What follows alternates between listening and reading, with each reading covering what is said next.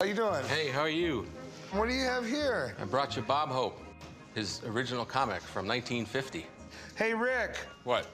Check this out. It's a Bob Hope comic book. Oh, that's pretty cool. Do you know who Bob Hope is? The price is right. No, that's Bob Barker. This is Bob Hope. Different old Bob. You know, Bob Hope and Bing Crosby, like Jerry Lewis and Dean Martin, Who? like Harold and Kumar. Okay. All right, okay. Bob Hope, he was a pretty amazing guy. He entertained troops in World War II, Korea, Vietnam. He was the only honorary veteran in the United States because he did so much stuff for the USO. Lived to be 100 years old. Hundred? Yep, when he was in a movie, it made money. He was so popular, he had his own comic book. Sweet. Bob Hope was an absolute Hollywood legend. He was in over 70 films, and he hosted the Academy Awards 19 times. I'm just afraid anyone under the age of 50 doesn't really know who he is. so, um, where did you get this? I actually got this on an online auction. Okay, well, it looks in relatively good shape. I assume you want to sell it? Yes, How much you want for it? I, I believe it might be worth about $500. I don't know how collectible Bob Hope is, to tell you the truth. I just have no idea what the demand would be for this, due to the fact that it's not an action hero, it's Bob Hope. It's a little Right. weird. Yeah. Okay? Do you mind if I have someone look at it? That'd be great. I have a friend in town. Yeah, he grades comics for a living. He knows what he's doing. I'll be right back. I'll give him a call, and um, we'll go from there. Great. I'm glad an expert's coming in to look at the comic just to be sure that it's all there and to get their opinion on the grade. Ah, a Bob Hope number one. I mean, the, the whole weird thing is it's Bob Hope. It's not like he's a superhero. Yeah, in the 50s, superheroes were going down.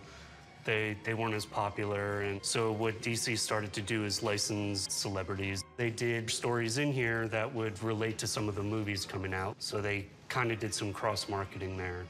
Okay. The Bob Hope comic ran from issue one from 1950 all the way to 1968. I mean, 18 years for, for a continual run on a comic is pretty great. So what's the grade on this thing?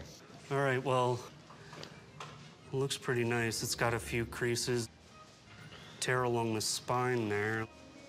Doesn't look restored at all. A little bit of tanning, the chip out at the top right. You know, I think CGC would give it about a 6.0. The big question is, what's it worth? That would put a certified 6.0 price at around $600.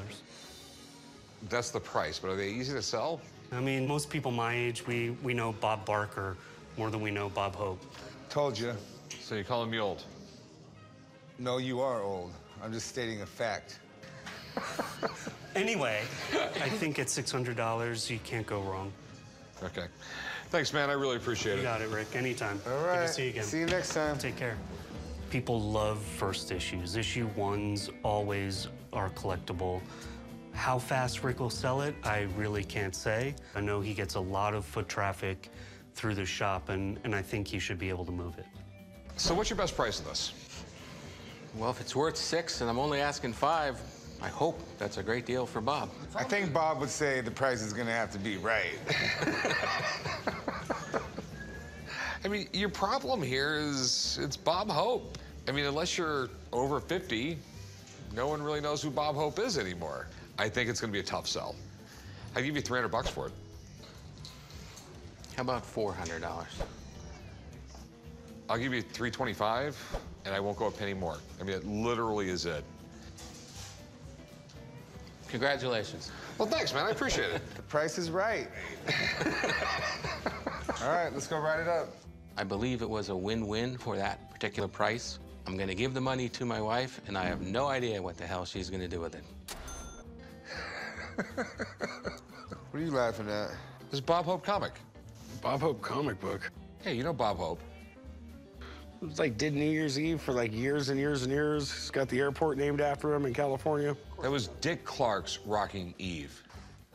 It's not Dick Clark International Airport. I know, it's Bob Hope International Airport. Never mind.